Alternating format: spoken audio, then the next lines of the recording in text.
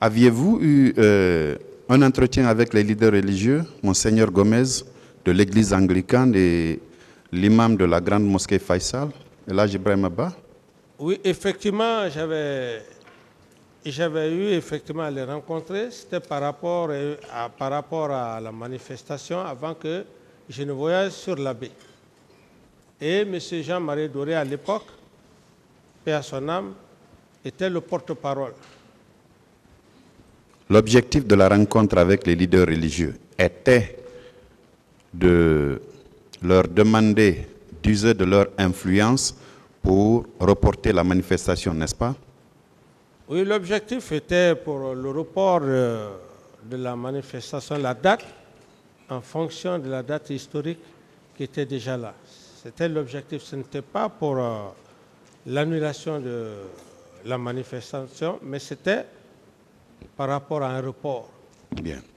Puisqu'ils n'ont pas, ils ne sont pas parvenus et ils vous ont rencontré, ils ont rencontré le représentant des forces vives de la nation, celui qui parlait à leur nom à l'époque, M. Jean-Marie Doré. Ils n'ont pas trouvé quasiment euh, un écho favorable par rapport au report. Alors, le meeting a eu lieu, il y a une descente des forces de l'ordre qui étaient sous votre autorité et sous votre contrôle, et le carnage a eu lieu. Est-ce que vous ne pensez pas, en votre qualité de président à l'époque, président de la transition, président du CNDD, chef de l'État, commandant en chef des forces armées, est-ce que vous ne pensez pas que vous devriez user de tous les pouvoirs que vous aviez en ce moment, ne serait-ce que pour arrêter le carnage dans un premier temps, ensuite faire en sorte que ceux qui se sont rendus au stade soient interpellés, mis à la disposition de la justice. Bien que les questions sont successives, mais je vais, je vais, je vais répondre à la première question. Monsieur le procureur, imaginez par, dans le contexte réel même, le contexte réel, et je ne voudrais pas trop m'apaisantir sur le cas de M.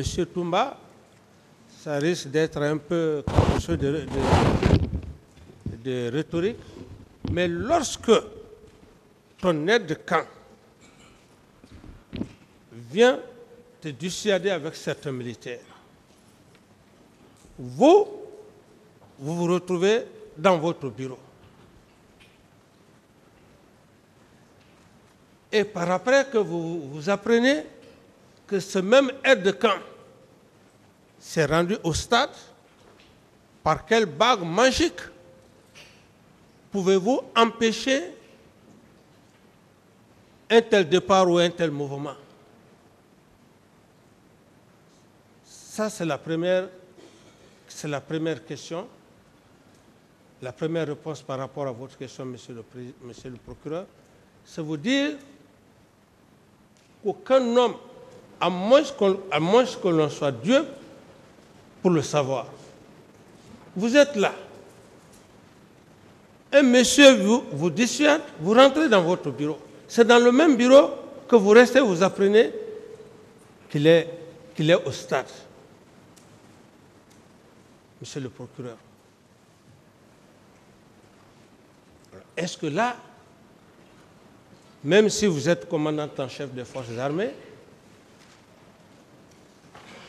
j'estime que euh, cet acte,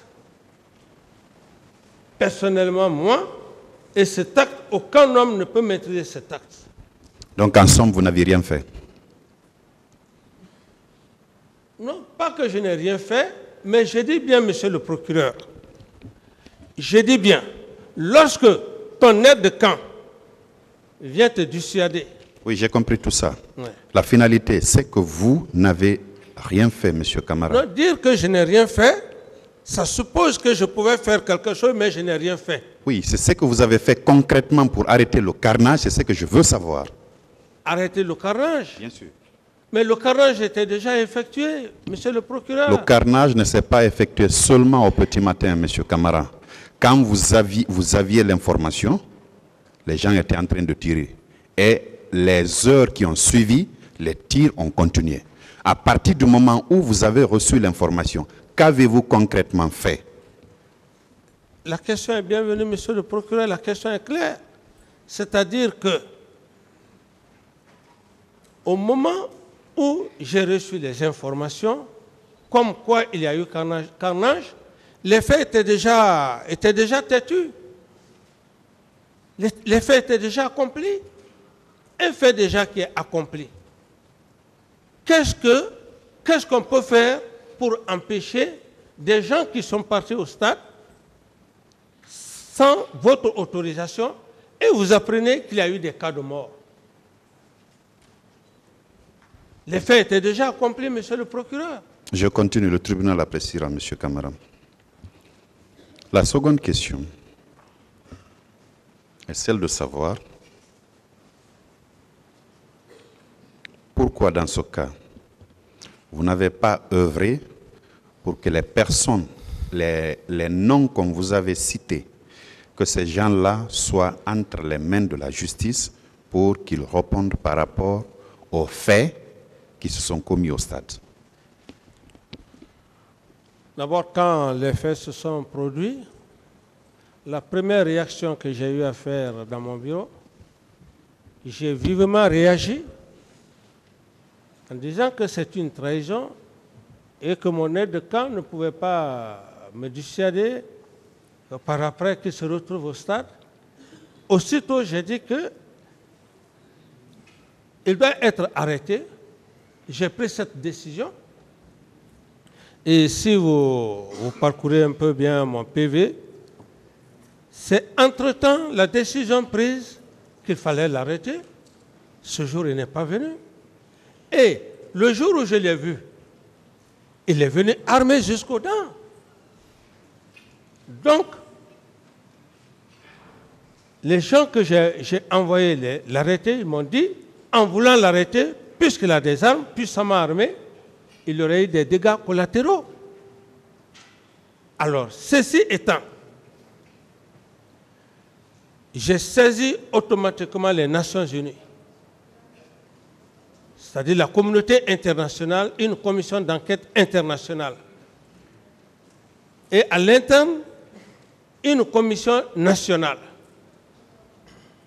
Afin que cette communauté internationale puisse venir au pays et faire le travail de la justice. Et j'estime que c'est ce, qui a- été fait. Alors, je ne pouvais pas en même temps procéder à une arrestation du moment que j'ai fait appel à la communauté internationale, ce serait me rendre justice moi-même. Ou moi-même, je fus, questionné par cette communauté internationale. Donc, la Commission nationale de mon pays et la CPI ont fait leur travail. Je pense que c'était la meilleure façon vraiment de,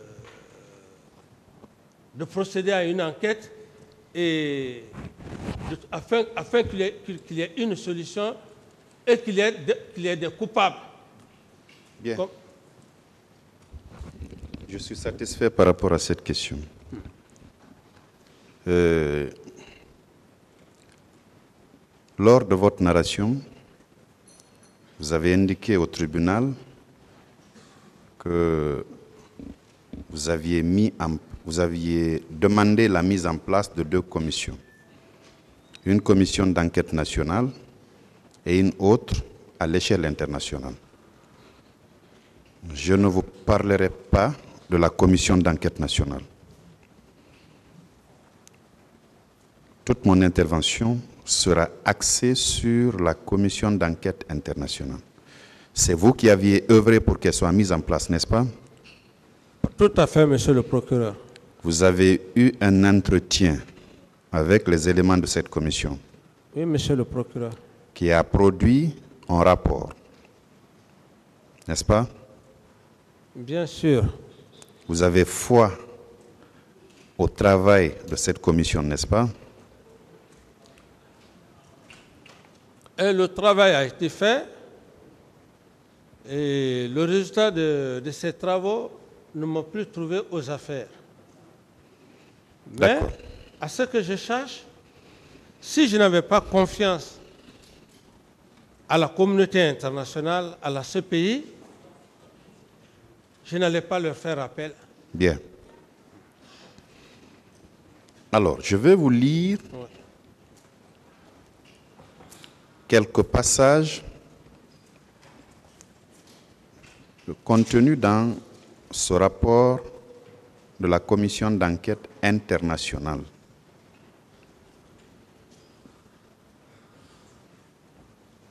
À la page 48, au deuxième paragraphe, la commission dit ceci. Le lendemain des événements du stade, le président a déclaré en public L'aspect le plus choquant est que j'ai essayé de moraliser et de sensibiliser les leaders politiques, leur disant qu'il y a eu des cas similaires dans le passé et que je ne veux pas que, la même chose se reproduise. À plusieurs reprises, le président a a attribué, je m'excuse, la responsabilité des événements aux leaders politiques qui ont organisé une manifestation subversive, préméditée ou une insurrection. Il a déclaré que les leaders politiques étaient responsables d'avoir envoyé les enfants des autres à l'abattoir.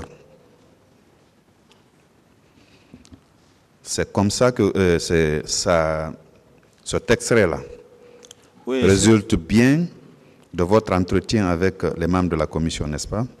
Oui, c'est cet extrait. Mais il faut se dire la vérité, monsieur le procureur. Ça résulte bien de, de votre entretien. Non, suivez-moi, monsieur le procureur. Je vous suis. Je vais vous poser une question. Il faut se dire la vérité dans ce pays. On ne doit pas avoir la peur dans le ventre, autrement ce pays ne va, ne va jamais s'avancer. Ce que j'ai dit, c'est clair. J'ai bel et bien dit qu'on a eu des cas similaires. Et c'est ce qui fait que le pays est toujours instable. Je l'ai dit. Jusqu'à nouvel ordre. Je réitère ce langage. Et par euh, la manipulation aussi des hommes assoiffés du pouvoir, D'accord. Qu'avez-vous voulu dire en employant les expressions que les leaders politiques ont envoyé les enfants des autres à l'abattoir Qu'avez-vous voulu dire? J'ai voulu dire simplement toutes les fois qu'il y a, des marches, c'est les pauvres citoyens innocents qui perdent leur vie. N'est-ce pas que c'est... Autrement, ça veut dire que ceux qui étaient au stade étaient prédisposés à tirer. Ceux qui étaient au stade, je n'étais pas au stade, monsieur le procureur. Je ne dis pas que vous étiez là, Monsieur Camara. Je dis, vous avez dit que les leaders politiques ont envoyé les enfants des autres à l'abattoir. Est-ce que ça ne voudrait pas dire que ceux qui étaient allés pour empêcher la manifestation, eh bien, étaient autorisés à tirer d'avance? L'autorisation de tirer, je, ne peux pas affirmer cette assertion. Ce que je dis simplement, moi j'ai décrit la réalité de mon pays. J'ai décrit la réalité de mon pays. Et je réitère, j'ai décrit la réalité de, mon pays. Maintenant que la CPI prenne euh, un aspect négatif ou positif, c'est de leur droit.